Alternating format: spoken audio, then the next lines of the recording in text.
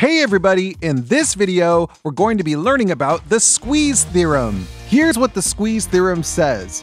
If f of x is less than or equal to g of x, which is less than or equal to h of x, and the limit of f of x as x approaches c equals L, and the limit of h of x as x approaches c equals L, then the limit of g of x as x approaches c also equals L. Because g of x is always between f of x and h of x, it's as if the limit of g of x as x approaches c is squeezed to L.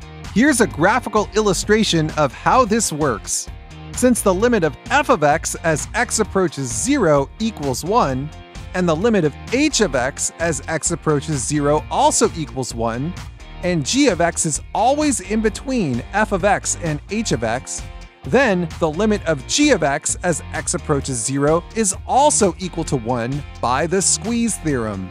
Since g of x is sandwiched in between f of x and h of x, its limit will also be 1 as x approaches 0. Now, the reason that we use the squeeze theorem is typically because we're trying to find the limit of a complicated function by comparing it to two other functions whose limits are easier to calculate.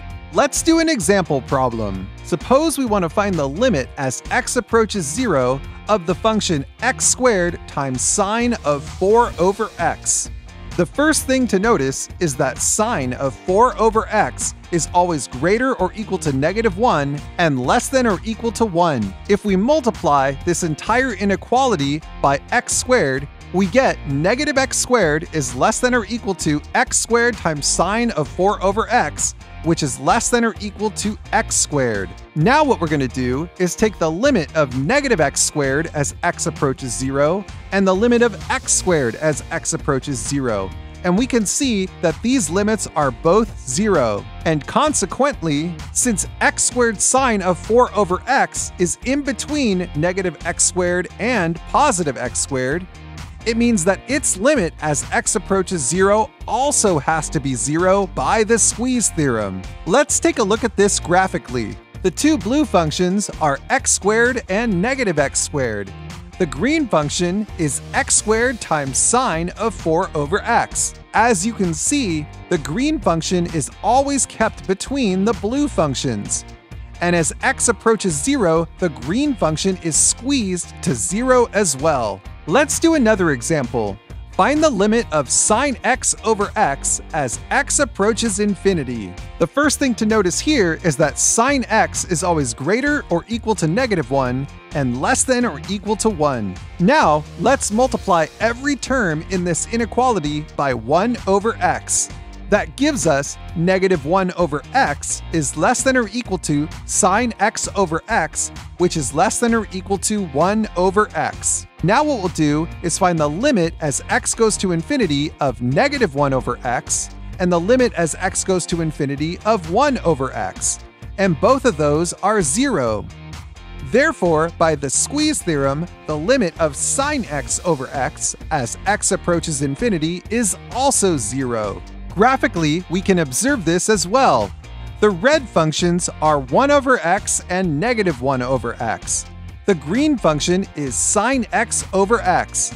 As x approaches infinity, you can see that the function is approaching 0. Let's do one more example. Find the limit as x approaches infinity of 3x squared minus 2 cosine 2x, all divided by 5x squared minus 2.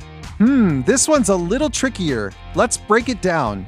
The first thing to notice is that negative 2 cosine 2x is always greater or equal to negative 2 and less than or equal to 2.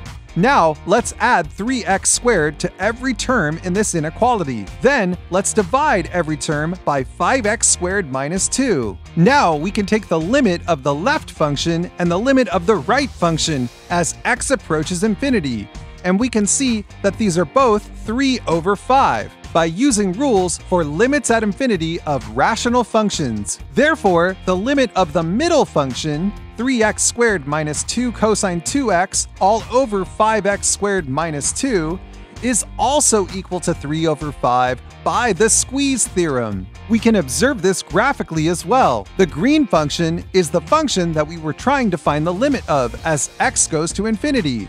3x squared minus 2 cosine 2x all over 5x squared minus 2.